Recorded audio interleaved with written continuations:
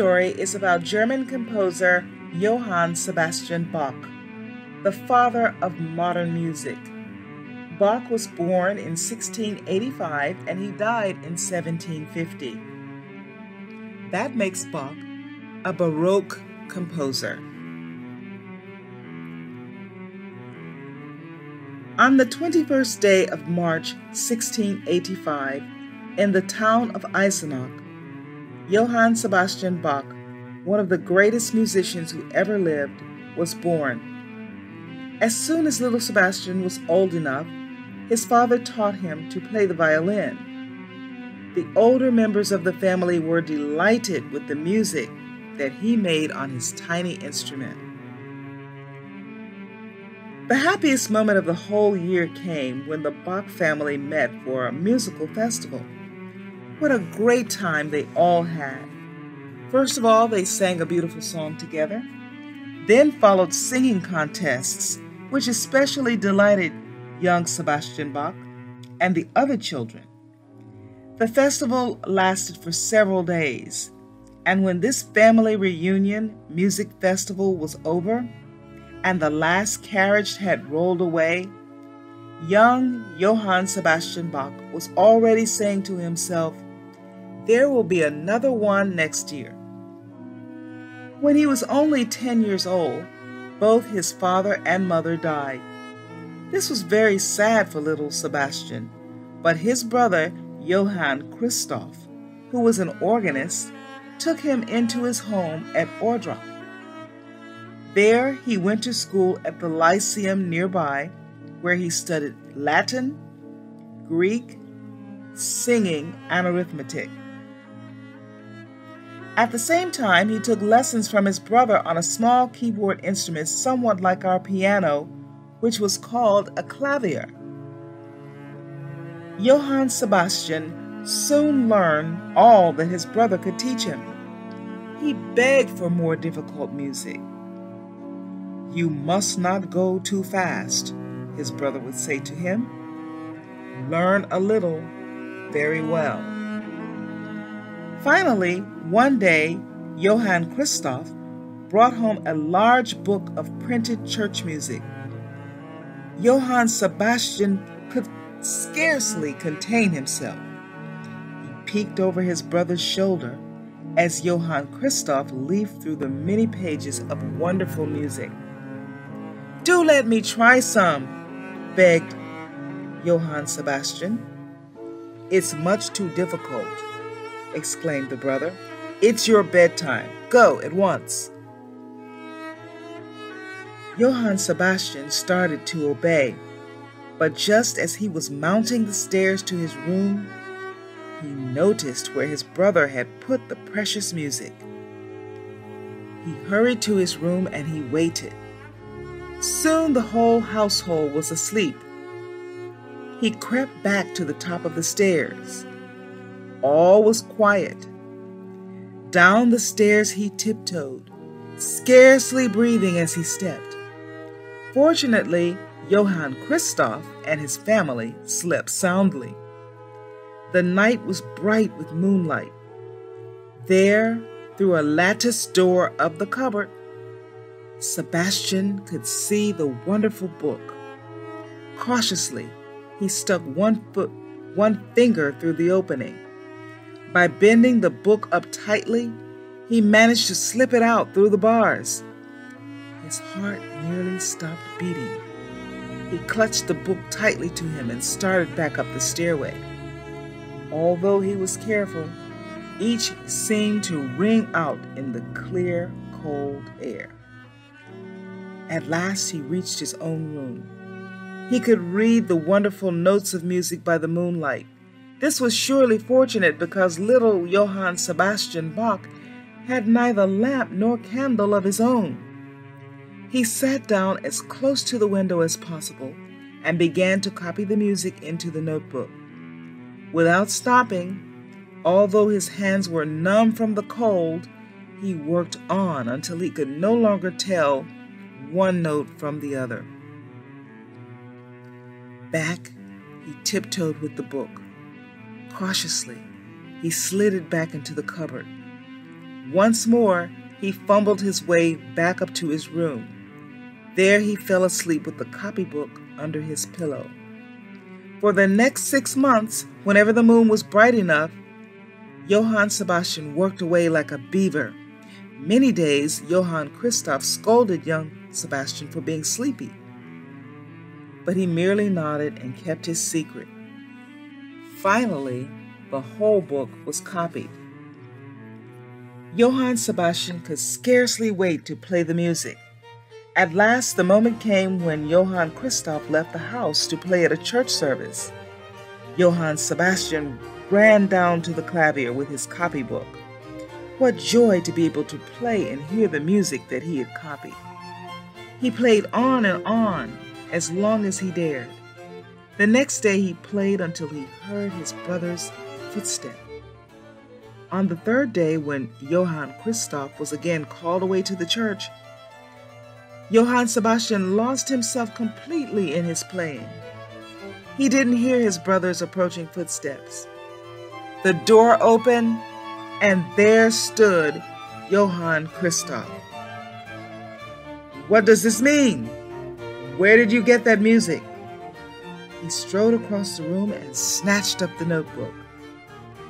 So you stole the music? It will do you no good. Give it back to me, begged Sebastian. Not until you're ready for it. And with that, Sebastian's older brother strode out of the room with the copybook under his arm. Not long after this, Sebastian worked, walked 200 miles to Lüneburg, where he was admitted to St. Michael's School. He sang in the choir to pay for his board and schooling. After he was too old to sing in the boys' choir, he played the violin. Then the great moment came when he was permitted to study the organ. Organ music seemed the most wonderful thing in the world to young Sebastian Bach. Many times he traveled hundreds of miles on foot with his violin tucked under his arm to hear the great organist Reinken play at Hamburg. When he was 18 years old, the Duke of Weimar invited him to play the violin at his court. Then, while he was visiting relatives, he was made organist at a new church at Arnstadt. Soon after he took that position, he received permission to travel to Lubeck to hear a great organist whose name was Buxtehude. Johann Sebastian Bach was supposed to have stayed four weeks, but he stayed three months learning everything he possibly could from that great music master, Buxtehude. All this time, he was composing his own music. When an opportunity came to move to Mühlhausen, not far from Arnstadt, he went because the people of that parish promised him more time in which he could compose. With him, he took his young wife, Maria Barbara Bach. From there, he returned to Weimar as court organist and chamber musician. Johann Sebastian Bach's fame as an organist and composer traveled all over Germany. One day he was called to the court of King Ferdinand Augustus to compete in a harpsichord contest with a famous French musician by the name of Marchand. When the day came for the contest, all the great ladies and gentlemen of the court were waiting for the concert to begin. A court attendant announced that Marchand had fled in fright. Bach sat down at the harpsichord, which is a form of clavier, and he improvised. That is, he made up music as he played. And he improvised with such skill that he was pronounced the greatest living musician. While at this court, Prince Leopold of Anhalt Anhalt-Köthen promised Bach more time to compose if he would come to his court as organist and violinist. So once more he moved with his wife and children. Not long after this, Bach decided to visit the organist Reinken, who by this time was a very old man.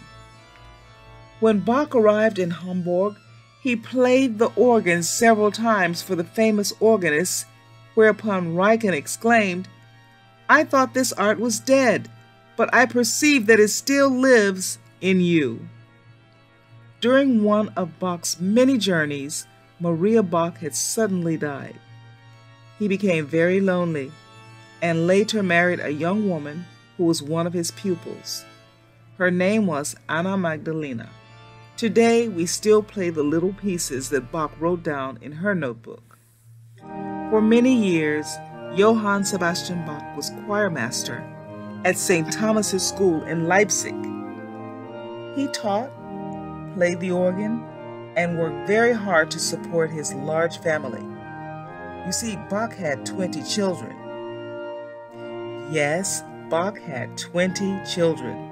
Some of them became famous musicians, but none ever wrote as wonderful music as Johann Sebastian, the greatest Bach of them all. Johann Sebastian Bach was recognized as a great organist and was loved as a fine teacher. But it was not until a hundred years later that the world began to pay honor to his music. Today, Johann Sebastian Bach is known as the father of our modern music. There is one very interesting reason for this. Bach was a scientist as well as a musician, and he started a system of tuning which entirely changed the possibilities of keyboard music. One of his most famous works was composed to show the results of his new system of tuning. He called it the Well Tempered Clavier, known today as the Well Tempered Clavichord. It is divided into two parts, each part consisting of 24 preludes or introductions and 24 fugues one in each of the major and minor keys, to prove the usefulness of his invention. A fugue contains several melodies which chase one another, forming a definite pattern. Johann Sebastian Bach changed the tones or units of sound on the keyboard so that any scale might be played upon the same instrument. So when we play our scales on the piano today, we take them for granted as we do our ABCs.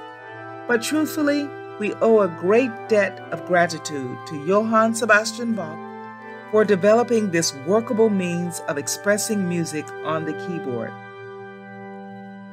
Bach died at Leipzig on July 28, 1750, but his well tempered clavichord, his six Brandenburg concertos or concert pieces, his Passions according to St. John and St. Matthew, the B minor Mass, the chorales, all church music, and his last work of all, The Art of the Fugue, will keep the name Johann Sebastian Bach alive forever. This story came from the book Famous Composers for Young People, written by Gladys Burch and John Wolcott published by A.S. Barnes and Company of New York in 1945. Now that you've learned about Johann Sebastian Bach and the pieces he wrote using the scales, it is a good time for you to begin learning your scales. We will start with these first five scales. In the key of C, in the key of G, and D and F and B flat.